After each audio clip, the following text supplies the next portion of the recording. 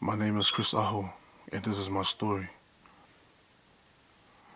When I was really young, I already had a keen interest in rugby, but it wasn't until the 1995 Rugby World Cup where I watched Jonah Lomu make history.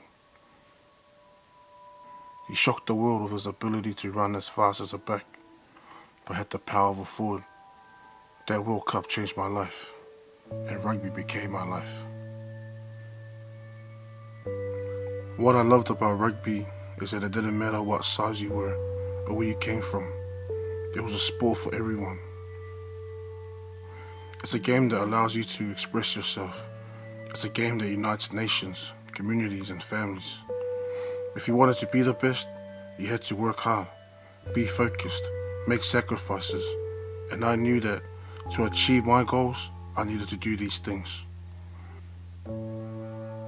When I was 15, I made my first representative team play for Auckland as a junior. In New Zealand, every kid's dream was to become an All Black, and for me, this was the start of that journey.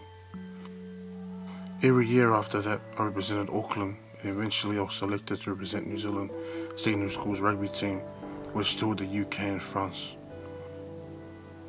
When I was 19, I was selected to represent New Zealand under 19s at the Junior Rugby World Cup in Venice, Italy, which we won.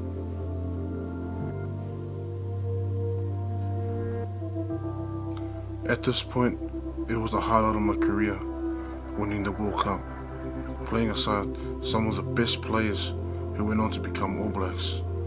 But after this, everything changed. I became unfocused, thinking I was the man. My priorities changed.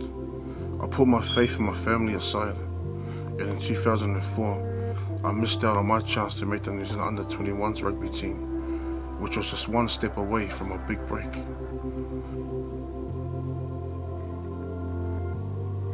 When I was 21, I decided to move to Australia. I left New Zealand with no money, leaving behind everything, my family, my dreams of becoming an All Black. It was hard. I struggled being away from my family and I felt lost and questioned everything that I did. A few years later, things started to look up. I got back into church and became a youth leader. Many of my young guys in my group were athletes, and I started to notice the same struggles that they were going through that I did. This was the turning point. God had put a new passion in my heart. So I had to decide whether to continue chasing my dream or help others achieve this. I chose. I had a new dream to help raise a new breed of athletes that will not just win the games on the field, but also the ones off field. The game of life, the one we can't afford to lose. Years later, I moved to Melbourne I got an opportunity to work for the Melbourne Rebels as a rugby development officer, which opened up all new doors. Three years ago, I got together with two friends to start Iron Armour Academy, which is a non-for-profit Christian sports organization. The vision and purpose is to help raise a new breed of athlete through fitness and off-the-field mentoring, helping our athletes to be the best that they can be on and off the field, finding their purpose and reaching their communities for Jesus Christ. To this day, I am a CEO and co-founder of Iron Armour Academy. I'm coaching and I'm mentoring full-time, doing what I love. Using what I've gained from my experiences both on and off the field and in life to help guide and mentor the next generation of athletes. Iron Armour has now 200 athletes from the ages of 6 to 20.